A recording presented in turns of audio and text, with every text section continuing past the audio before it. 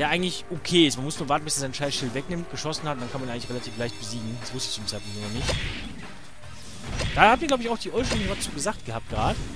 Das war aber eigentlich Zufall. Und ich habe auch, genauso wie ich euch nicht habe zuhören lassen, habe ich selbst auch nicht zugehört.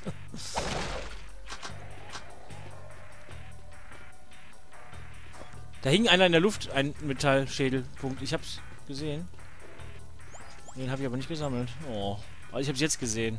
Aber dafür finde ich diesen Orb. Wie schön. So muss das sein. Ja, vielleicht komme ich da nochmal lang und ich erkenne ihn vielleicht noch. Oh. Wenn die Kisten und Fässern da nicht wäre, dann hätte ich es auch gesehen wahrscheinlich. Scheiße.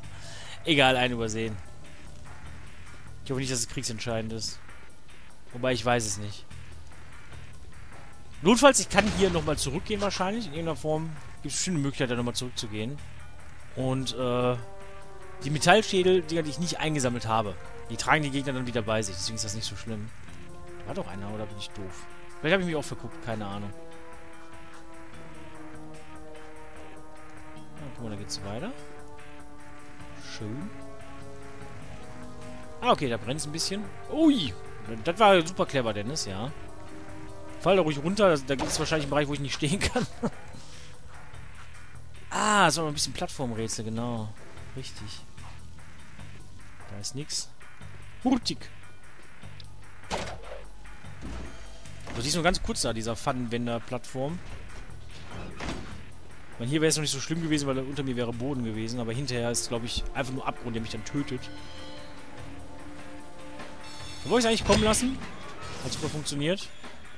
Aber immerhin kein, keiner der äh, ja, Metallschädel-Coins, goldenen Eier, gold, grüne Eier, ist runtergefallen. Finde ich sehr gut. Da habe ich schon ein bisschen mehr Gas gegeben. Da hängt schon wieder einer in der Luft. Da.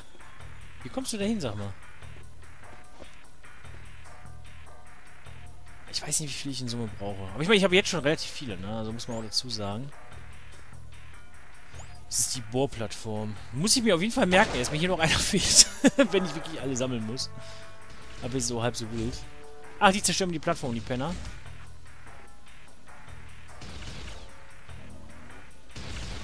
Ich gedacht, okay, da sind Eier, da kriege ich gleich eh die nächste Kanone. Das heißt, das Ding jetzt mit meinem Bläser zu zerstören, macht wahrscheinlich nicht viel Sinn. Da wäre ich fast, da wäre es fast so weit gewesen.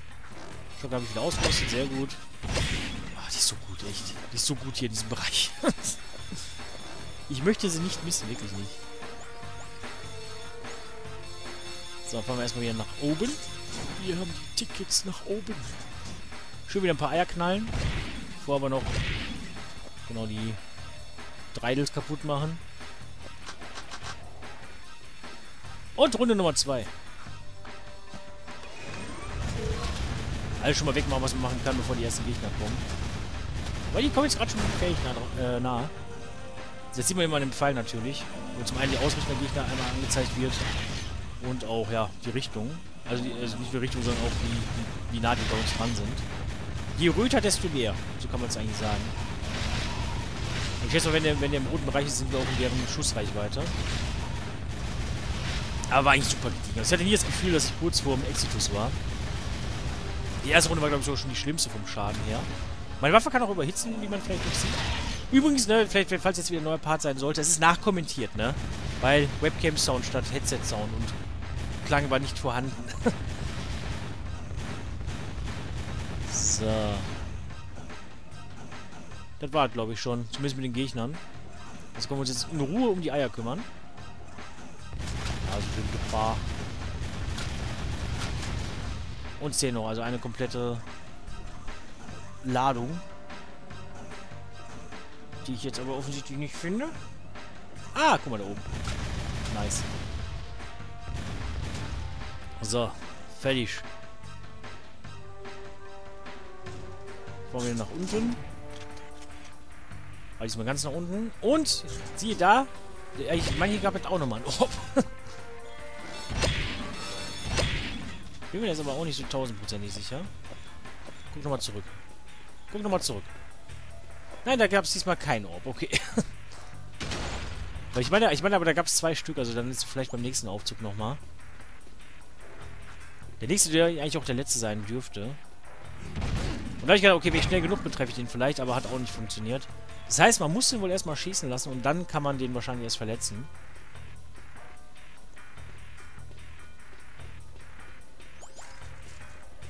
Aber ich, mich würde eigentlich schon wirklich mal richtig interessieren. Wo sind hier die Speicherpunkte? also nach jedem Aufzug fände ich ja zum Beispiel schon mal in Ordnung, was auch schon böse genug sein könnte, ne? Aber wäre noch in Ordnung, oder wenn ich jetzt sterbe, muss ich dann ganz, ganz von vorne machen. Wenn wir, wie gesagt, hier bei dem, ähm, bei der Escort-Mission, wo der, äh, eine Typ mit seiner Metalllanze da alles, ja, zerstört hat. Das war schon echt prrr. Den, mit den Sachen. Weil da hätte ich gedacht, okay, zumindest nach jedem, äh, ja, Metallschild, den er zerstört hätte, oder zumindest nach jedem zweiten oder irgendwas, wäre schon nice gewesen. Aber so gar keiner, das ist echt blöd. so, genau, das ist jetzt nämlich der dritte Option. Da unten war, glaube ich, noch ein äh, Orb.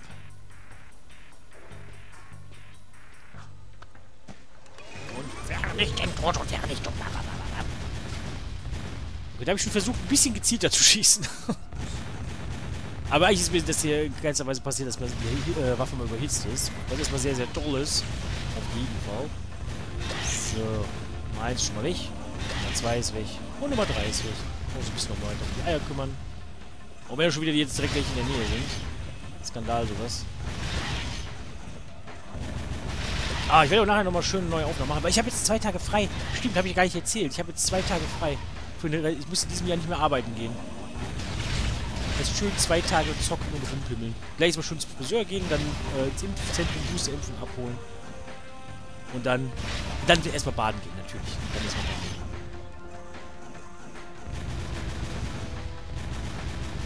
So, machen wir weg den ganzen Schissel mal denken.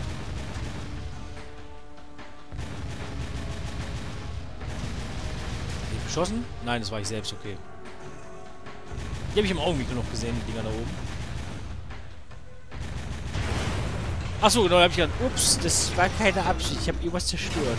Nein, das ist für mich eigentlich nur eine Abkürzung, dass ich wieder äh, aus dem Bereich rauskomme. Finde ich sehr nett von dem Spiel. Also ich finde das gut, dass sie sowas gemacht haben. Und dass ich nicht den ganzen Weg wieder zurückrennen muss oder so. Ihr habt die letzten Metallschädeleier zerstört. Jetzt müssten wir ein bisschen mehr Echo für die Stadt haben. Gut gemacht. Okay, ich habe das Gebrabbel jetzt nicht verstanden. Ich hoffe, ihr habt es verstanden. Ich weiß es nicht. So, und hier, hier war ein Orb, ne? Hier war doch ein Orb. Mach mich glücklich. Und? Ja, da links ist einer. Ha! Ich wusste es doch. okay. Gut, ja, jetzt müssen wir eigentlich nur noch äh, wieder zum Ende des Levels oder zum Anfang des Levels zurückkommen. ist eigentlich halb so wild.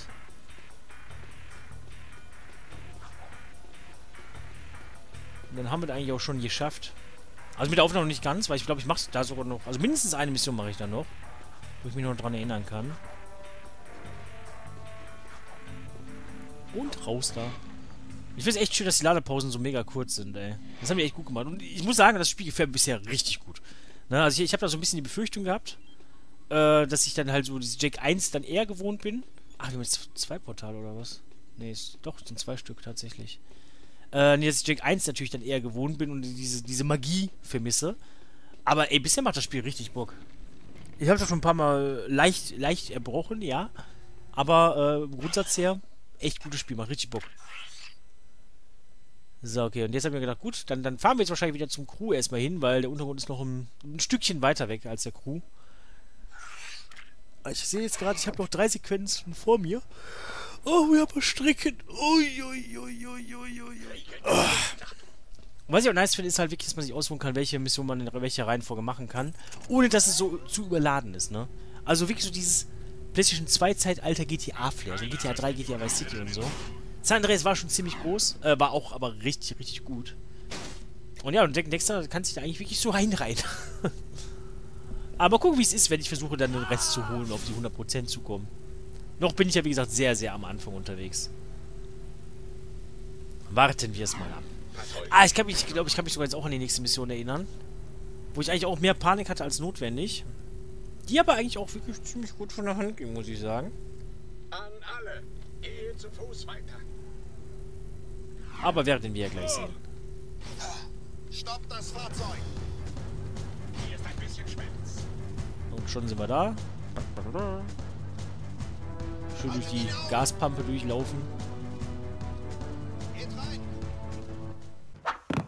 Zuckerpuppe? Neu hier? Sag mal, hast du was äh, Scharfes? Moment, äh, dich kenne ich doch. Du gehörst zum Untergrund. Psst, ich bin Tess. Ich spioniere in Thorns Auftrag Crew aus. Macht mit. Vielleicht finde ich ein paar von Crews Geheimnissen raus. Uh, ich liebe verdeckte Arbeit, Schätzchen. Aber äh, zu zweit geht das viel besser. Komm, ich helfe dir. wow, ganz schön viele Flaschen hinten. Oh, das ist. Das, das, das geht runter. Oh Mann, glaubst du, das ist echtes Gold da drin? Und was ist mit dem lila Zeugs? Jack, du und die sprechende Ratte da. Ihr müsst für mich ein paar Dinge einsammeln gehen. Hey, Schwabbelback, wie läuft's denn so? Was ist mit dem los, hä? Gar nichts. Mir geht's gut. Kümmere ich für meinen Eigenkram. Ich hab ganz viel Mut. Hör zu. Sechs meiner Kunden in der Stadt haben Geld für mich deponiert. Ihr müsst die Geldsäcke so schnell wie möglich einsammeln und neugierige Wachen ausschalten. Hm? Wenn ihr zu spät seid, schnappt sich vielleicht ein Stadtbewohner den Geldsack. Weißt du, was dein Problem ist, Crew? Das ist kein Reifenblick. Könntest hier super Laden haben. Hoppe kiffen, mir mehr tanzen. Mehr Eingraben, mehr Frauen. Was Holt mir die 14 Geldsäcke, bevor sie weg sind, und bringt sie hierher. Verliert ihr einen, dann lasst euch besser nie mehr hier blicken, klar? Jo, Geldsäcke sammeln auf Zeit. Ne? Also wieder mal eine Zeitmission, wo wir natürlich auch ein Gefährt brauchen. Ich habe mir gedacht, Alter, 14 Geldsäcke in 30 Sekunden, wie soll ich das schaffen? Nein, keine Panik. Im Endeffekt, schön, dass mich jetzt direkt die Polizei natürlich noch wieder sucht, ne? Äh, für jeden Geldsack, den ich einsammle, bekomme ich nochmal zusätzliche Zeit gut geschrieben. Ich hätte es auch eigentlich direkt neu starten können, habe mir aber gedacht, nö, versuch's einfach mal. Weil ohne Polizei wäre es natürlich deutlich einfacher. aber gut. Wie gesagt, ich, ich mache es mir nicht so gerne einfach. Aber ich mache es mir viel lieber schwieriger. Einfach machen würde ja bedeuten, dass ich mir eine komfortable Situation schaffe. Aber ich nehme die Situation, die ich habe und mache sie immer schlimmer. Egal, ob sie vorkomfortabel war oder nicht. Ja, es gibt natürlich schon so ein paar Säcke, wo ich gedacht habe, eieiei, der war jetzt aber auch wieder eine mega knappe Geschichte. Vor allem, ich werde beschossen und ich kann euch auch schon mal verraten, ich werde mein Gefährt währenddessen verlieren und muss mich dann schnellstmöglich um ein neues kümmern. wo auch das Glück ein bisschen mitgespielt hat, muss ich dazu sagen. Obwohl schon drei Tage her ist, dass ich aufgenommen habe, kann ich mich noch relativ gut daran erinnern, an die Einzelheiten. Spricht erstmal für das Spiel, muss ich sagen. Weil wenn ich dann so ein MDK2 versuche zurückzudenken, hm. An die Pflanze kann ich mich noch dran erinnern, beim Professor, beim Wissenschaftler. So. No, äh, wie viel waren das jetzt? 16? 14? 12? Auf jeden Fall müssen wir jetzt noch neun sammeln.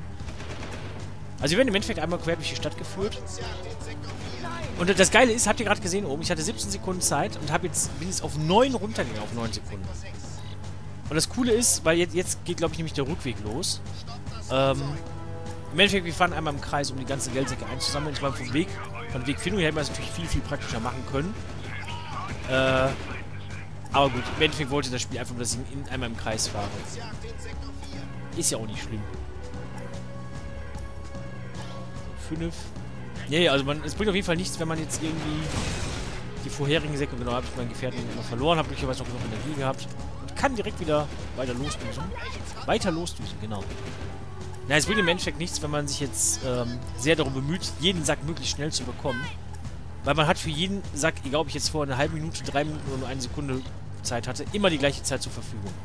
Das heißt, jetzt habe ich den gerade mit 6 Sekunden eingesammelt, habe ich 29 Sekunden. Hätte ich jetzt mit 10 Sekunden eingesammelt, hätte ich da nicht 34 Sekunden gehabt, sondern auch nur die 29. Was ist richtig gerechnet? Keine Ahnung. Ich höre mir selbst nicht beim Reden zu. Ich glaube, ich habe mich um eine Sekunde verrechnet, aber ist ja egal. Ja, aber vom Prinzip habt ihr es wahrscheinlich verstanden, was ich euch sagen möchte. Weil das ist natürlich Sachen, die sehe ich natürlich nicht, wenn ich spiele. Weil ich denke einfach, ach, wo ist der nächste? Scheiß auf die Zeit, wie viel du hast. wenn, du, wenn du Zeit damit verschwendest, zu gucken, wie viel Zeit du noch hast, dann schaffst du es nicht auf Zeit. So, und der letzte. Kein Problem, kein Problem. Das Coole ist, wir sind halt direkt wieder in der Kneipe, in der Bar. Und Mission geschafft. Und die Gardisten interessieren sich nicht mehr für uns. Finde ich auch sehr, sehr nice, muss ich sagen. so. unsere Belohnung abholen.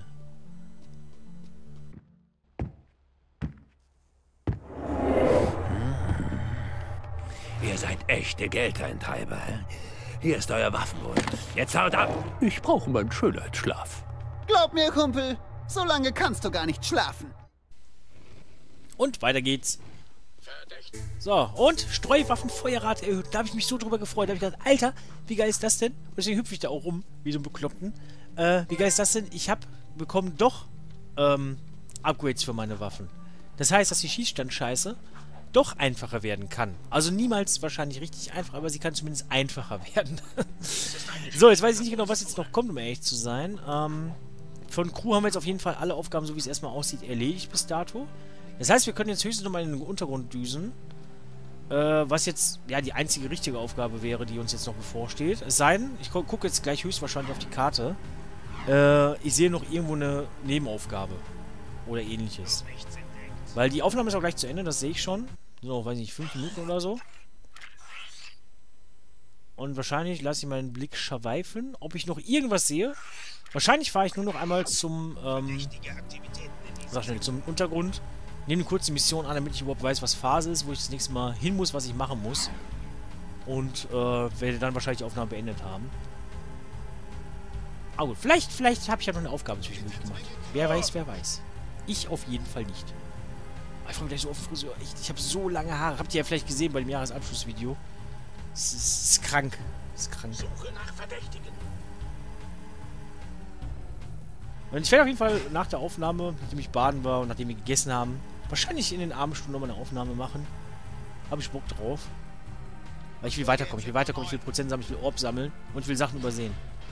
Deswegen wichtig ist, wenn ihr mir irgendwie mitteilen könntet nochmal, ne, so wie ihr das ja auch schon teilweise getan habt. Also senden Sie mal auf jeden Fall hier, äh, der, der, der, Zuschauer des Projektes, ne, mit seinen Tipps, der kennt das Spiel offensichtlich auswendig, was ich super finde.